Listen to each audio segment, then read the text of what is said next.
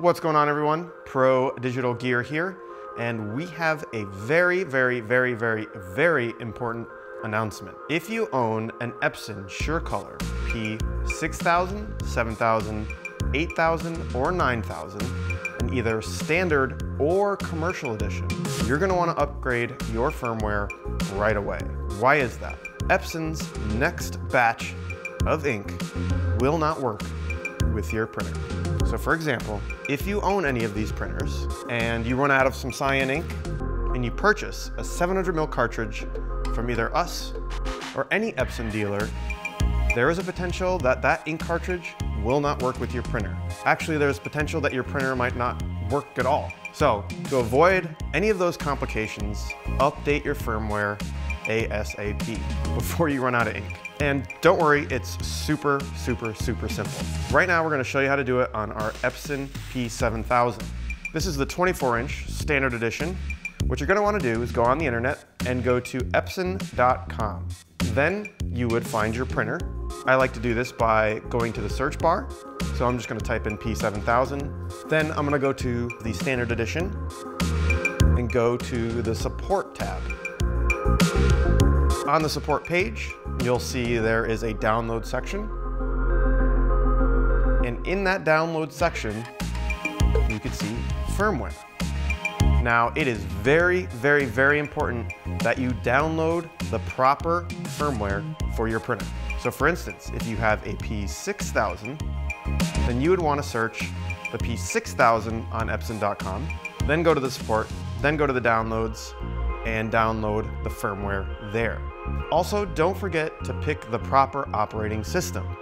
It'll most likely already be selected for you. If you're on Windows, make sure you have the proper version selected, and if you're on Mac, same thing, make sure you have the proper OS version selected. Here is the current firmware update software. All you have to do is go over and click download and let that fully download to your computer.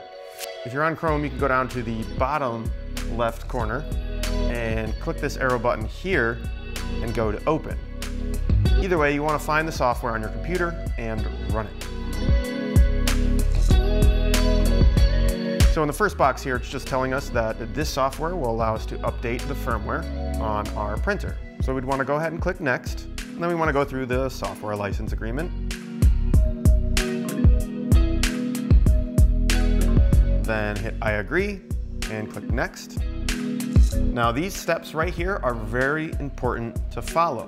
One, turn the printer on. If the printer was already on, then what you're gonna wanna do is turn it off and then turn it back on. So for instance, if you're making prints and there might be some in the queue, it says right there you want to make sure that there are no jobs in the print queue, whether it's by network or USB cable.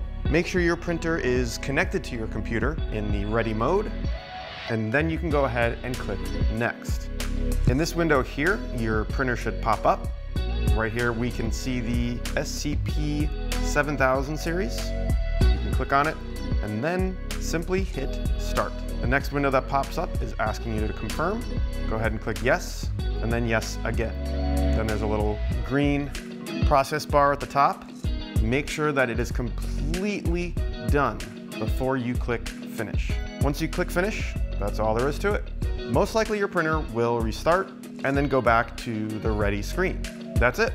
Now there are several ways to check and make sure that your firmware updated properly and to the most current version. First, you have to check the firmware version number that's listed on the download page of your printer. Write that number down.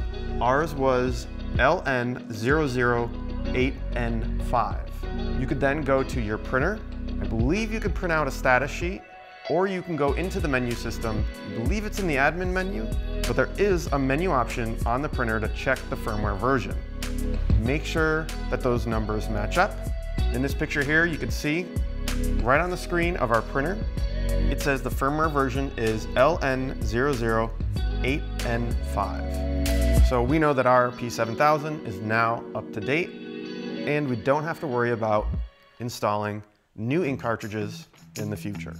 Just to recap, if you have the Epson SureColor P6000, 7000, 8000, or 9000, in either the standard or commercial edition, you need to update your firmware on your printer in order to use Epson's next batch of inks. If you have any questions at all, feel free to give us a call. We'd be happy to assist you with this update. Feel free to comment and ask us questions below. I hope this video was helpful to you. Thank you so much for watching. And end scene, cut.